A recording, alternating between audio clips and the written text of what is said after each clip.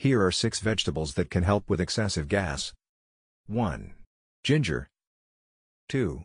Fennel 3. Asparagus 4. Peppermint 5. Cucumber 6. Carrots